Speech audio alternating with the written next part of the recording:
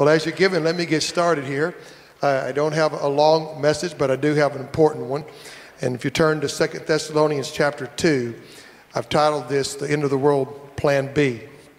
I'm going to read starting verse 1 from my NIV concerning the coming of our Lord Jesus Christ and being gathered to him.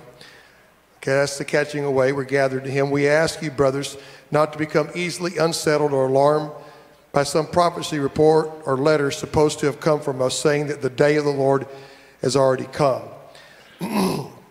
Notice in verse 1, it's mentioning two things concerning the coming of our Lord Jesus Christ and our being gathered to him. We have two events return to Christ. We have the catching away that Paul mentions in 1 Thessalonians 4. and then we have the return of Christ mentioned in Revelation chapter 19, where Christ comes to, after the seven year time of God's wrath poured out upon the earth called the Great Tribulation. At the end of the time, at the Battle of Armageddon, Jesus Christ comes riding in a white horse with all the saints. We'll take a look at that passage in Revelation 19 in a moment. But notice that verse 1 addresses two events, okay? This passage is a passage that some believe from this passage that Jesus Christ will come in the middle of the seven year of tribulation. They call that mid trib. I always say Jesus is going to come. There's going to be a catching away. You just better be ready. I don't care if it's pre, mid, or post. He's going to come. Uh, I, I, always say I, I, just call it pan trib. It'll all pan out in the end because Jesus is going to come, and those that are wrong will find out, and those that are right will find out, and, and, and it's just going to happen. Uh, now, I obviously think I'm right and y'all wrong, but uh, that's I always think that way. But anyway, it's it's uh, it's just where I look at it that way. It says not to become easily unsettled or alarmed by the some prophecy. Verse two: report or letter supposed to have come from us, saying the day of the Lord has already come. Don't let anyone deceive you in any way. For that day will not come until the rebellion occurs of, of the man of lawlessness, and the man of lawlessness is revealed the man doomed to destruction. I want you to underline two words there deceive you, don't let anyone deceive you, and then the word destruction at the end of verse 3. He will oppose and ex- will exalt himself over everything that is called God or is worshiped, so that he sets himself up in God's temple, proclaiming himself to be God. This is also mentioned in Matthew 24. It's mentioned again in the book of Revelation that in the middle of the seven years of tribulation, that there will be a declaration of the lawless one to declare everybody take put himself in the temple in Jerusalem and declare that everybody bows down and worships me. This is this is Satan himself. This is Satan revealed uh, as God is three in himself, the beast, the false prophet, uh, the the devil uh, Satan himself. And so uh, it picks up in verse 5 of Second Thessalonians chapter 2. Don't you remember that when I was with you, I used to tell you these things, and now you know what is holding him back, so that he may be revealed at the proper time. Uh, I believe, and many people believe, what's holding back the lawlessness one from stepping up right now is the Spirit of God, God's power, God's will, and uh, God's church, which His Spirit resides in. Now, listen to me a second. The spirit of the Antichrist has been on this earth, urging and moving forward, wanting to be in control forever, for the whole time since Christ ascended up into heaven on, in Acts chapter 1 before their eyes, those that were there that day in Acts 1 on the, uh, just before the day of Pentecost.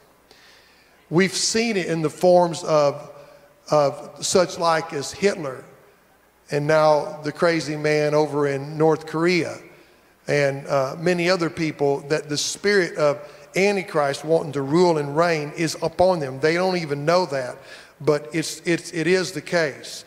And, uh, but it, that will not be revealed until the time that, that God allows it. Verse 7 For the secret power of lawlessness is already at work. I'm back, verse 7 again. But the one who now holds it back will continue to do so till he is taken out of the way. And then the lawless one will be revealed, whom the Lord Jesus will overthrow with the breath of his mouth and the destroy by the splendor of his coming. When I read verse 19, Revelation 19 in a minute, you'll see those words right there in Revelation 19 when Jesus comes at his second coming. So that's when the destruction will come to pass. The coming of the lawless one will be in accordance with the work of Satan displayed, look at this, in all kinds of counterfeit miracles, signs, and wonders, and in every sort of evil that deceives, there's the word again, deceives those. Satan deceives those who are perishing. They perish because they refuse to love the truth and so be saved. For this reason, God sends them a powerful delusion.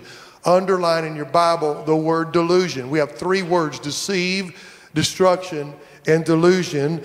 He sends a powerful delusion so that that, that uh, they will believe the lie, and so that all will be condemned who have not believed the truth but have delighted in wickedness. The King James in verse number 12 says that all may be damned who believe not the truth but had pleasure in unrighteousness, which I believe is much clearer. And he also says in verse 11, For this cause God shall send them strong delusion that they should believe a lie. The first thing from our passage that I want you to see, and I had you mention this word deception or deceive you. You see, many people in the world are trying to deceive others. They deceive by saying things like uh, that, you know, you got to be politically correct and you got to be careful not to offend, that, that you know, uh, the others, others are sincere in their faith in, in their God that is dead. But the Bible says there is an offense. It's the, it's the offense that Jesus said that he brings a double edged sword. And the offense is that, that there's no other name but the name of Jesus where a person can be saved. And many a people are deceiving people in our land. And many a people that call themselves ministers are preaching a false, uh, a false gospel. And it's a gospel of grace that has no faith. It's a gospel of grace that that undermines anything about obedience to God and holiness before God. It's a gospel that basically is universal salvation, that basically says Jesus died once for all and all will be there if you just believe in this person called Jesus. But believing in Jesus isn't enough. James said it in his book. He says the demons believe and tremble, but and, and as he speaks and he says, take Abraham, for instance, who was justified by his works, or in other words, by his obedience. And here's the thing faith in itself is not just belief, but it's trusting and obeying. And I'm going to tell you that there's a deception in our world. Many people think they're on the way to heaven, and they are not.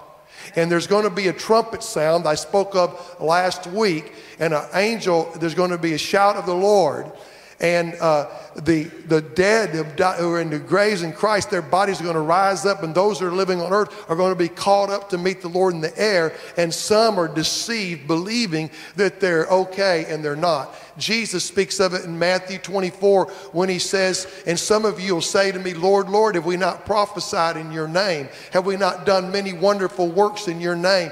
Have we not cast out demons in your name? And he's going to say, Depart from me, you workers of iniquity. I never knew you. You see, the relationship with Jesus is a relationship where you know him. He walks with you and he talks with you. He's in you. He's full in you. And there's a deception of mankind and a preaching that's not preaching the salvation of repentance that Jesus talked about, that John talked about to repent. One that says now there is no literal hell. You know that is so popular now. There is no hell, period. And they've rewritten God's law on morality. And I want to tell you something. The book is still true. It's the true as when I was 20, when I was six years old, when I was 10 years old. The book hasn't changed. Jesus is the same yesterday, today, and forever. And there is a standard that God demands, and it's a standard that we can only live when He comes and changes our heart and He comes and gives us power, the power of His Spirit that takes our life and puts to death our old man and makes a new man alive. And there's a real salvation in that. And I want to tell you, there's deception in our world, but there is also, as our text mentioned, the deceiver who is Satan. Who, who will deceive people. He deceives them in this last time, in the last days, uh, during this time of great tribulation by doing miracles. And Revelation speaks of it. Paul mentions it here, but Paul didn't write Revelation, John did. And he mentions it there that there'll be these miracles that'll happen. And, uh, and people will be deceived. Even the elect, many that, that are quote unquote, they'll be deceived. And some people think that people that are saved will still be on earth during this time of wrath. But I don't think so. And, and I'll show you that in a minute when I finish with Revelation 19. The Bible says in many places God has not chosen to us to experience wrath. But many people go, but that doesn't mean we're, we're, uh, we're uh, there, there's no like uh, escape clause that we won't face tribulation. I'm not saying that.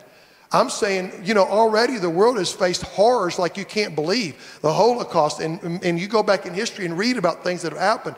And I'm telling you, we could, we could face all kinds of things. And in fact, right now in lands, people are being sawed in half and shot. They're sawing children in front of their, in Muslim countries, in front of their parents right now, uh, killing them because they're Christians. Did you know that? They're wiping the Christians out in certain countries right now. They're wiping them off the face of the earth, murdering them. So I'm not saying there won't be persecution. Jesus said you'll be persecuted. I'm not saying there won't be uh, trouble and, and, and, you know, even loss of life and martyrdom. The 11 of Jesus' disciples. That's not what I'm saying. I'm talking about the wrath of God in the seven year period called the Great Tribulation that begins, but I believe, according to Revelation 4 1, that begins when the trumpet sounds, and now that begins and it grows stronger and stronger and stronger. At the end of that time, then, then, and during that time, Satan is going to deceive many people. Okay? He's a deceiver. Second thing, the word was uh, the delusion. If you'll notice at the end of this text that God, in Second Thessalonians chapter 2, it says in verse 10, Satan is with deceiving of unrighteousness in them that perish because they receive not the love of the truth. They receive not the love of the truth, meaning the truth was given to them, but they, they did not receive it, that they might be saved. And for this cause, God shall send them strongly. Who's sending the delusion? God is. Why? Because they rejected during the day of grace the truth that they could be saved. That's why. They rejected it for this cause. Why?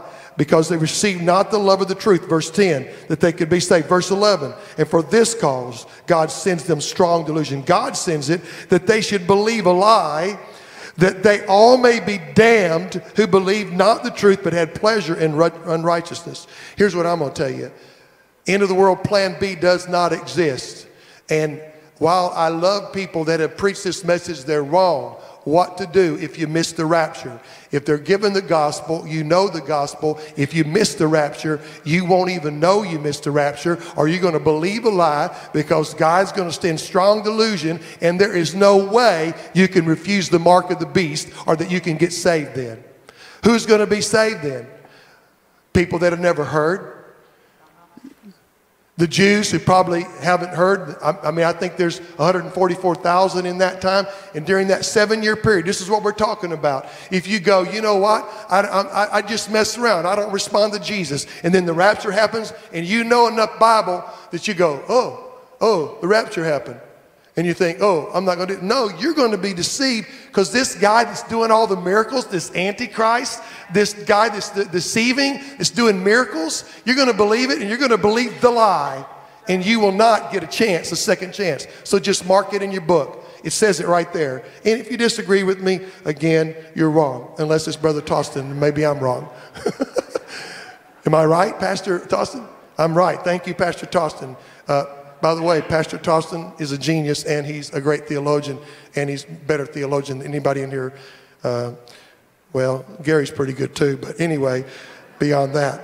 Uh, the last thing here. That, so there's that second word. I want you to see the word uh, deception of, of, man and of Satan and of, of, the lies and the darkness of this, this world. And you see the word in there uh, that God will send delusion. And then I want you to see the word destruction. For he goes on and he says, um, that they all might be damned who believe not the truth but had pleasure in righteousness. Verse 12 and, the, and verse 12 in the NIV, so that they will be condemned who have not believed the truth but delighted in wickedness. Uh, there's a word destruction. I told you to mark it. But anyway, it's, it's in that passage because I, I found those three words that begin with D and I thought that was pretty cool. But there is a destruction coming. And that's the problem is the enemy wants you destroyed. And he wants your family destroyed. And he wants everybody destroyed. The thief has come to steal, kill, and destroy. Mort Henderson taught me this. He said, What's the thief stealing? Your faith. Why do you think that we have in our colleges and everywhere people getting talked out of their faith? They want to steal your faith to make you not believe. You know, and I, I, I don't understand all that, but if he steals your faith, steal, kill, then he kills your body, then steal, kill, and destroy. He destroys you. Destruction. It's damnation. And I'm telling you right now, the Bible says, as you see all these things to come to pass, he that endures unto the end, the same will be saved. Jesus said it in Matthew 24. Now we, we turn to Revelation 19 to conclude.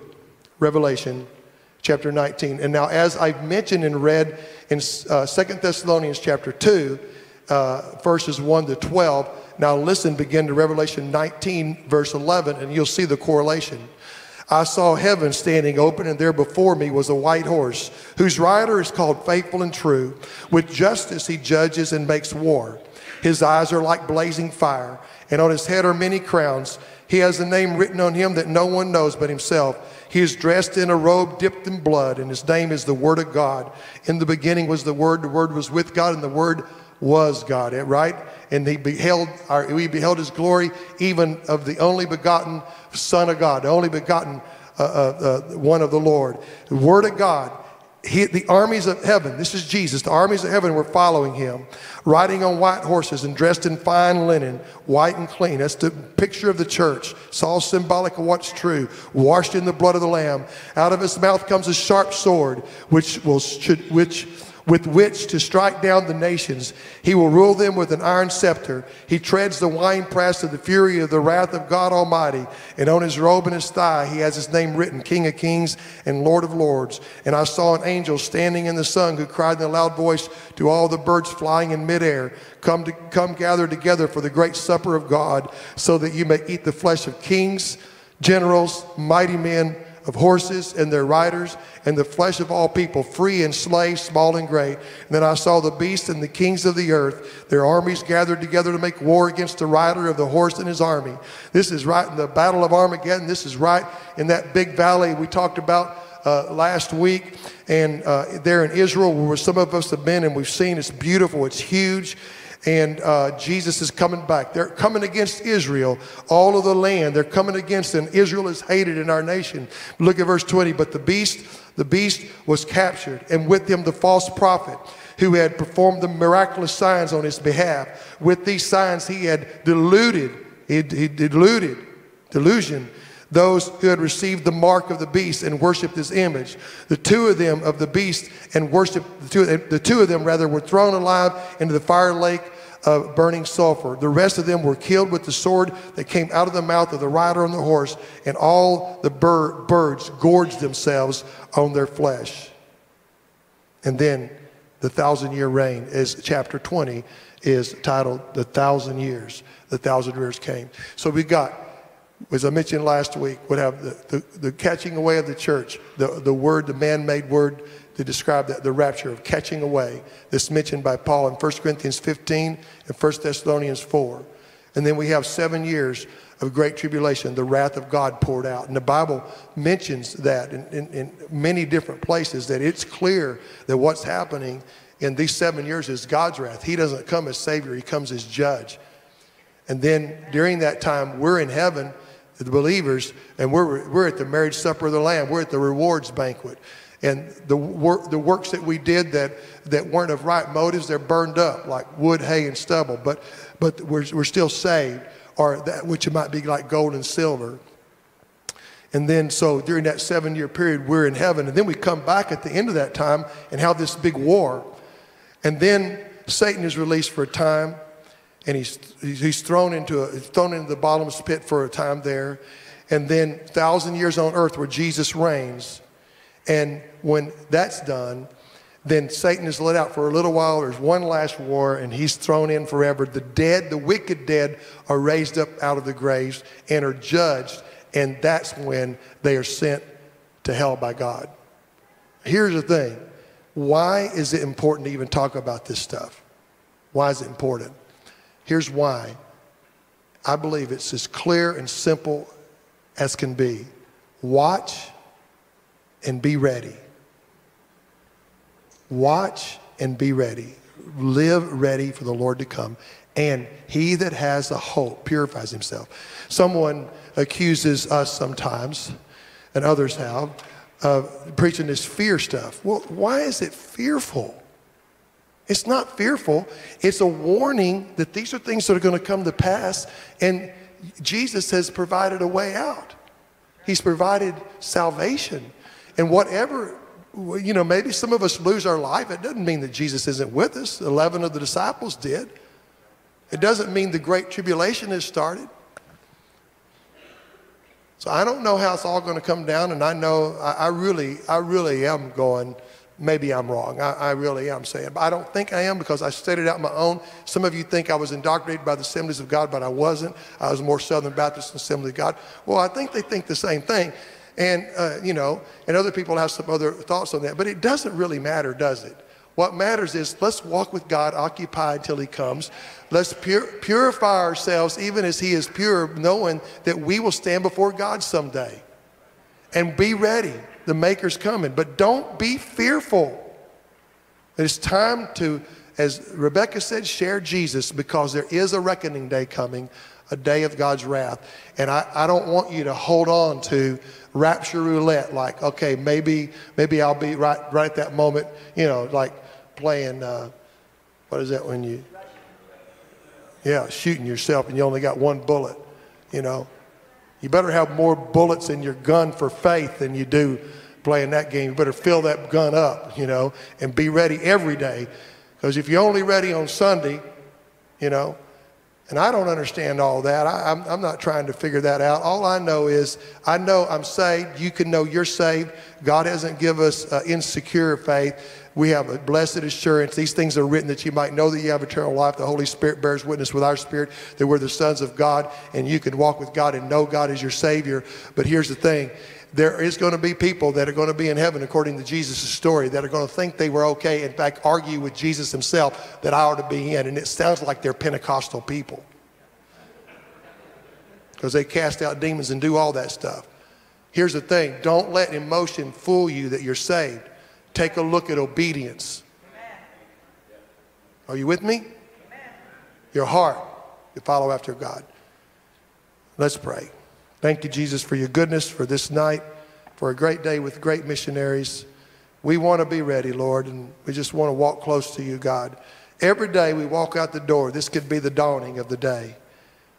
Maranatha, Jesus is coming. Hallelujah. May we be ready waiting, looking for you. In Jesus' name. We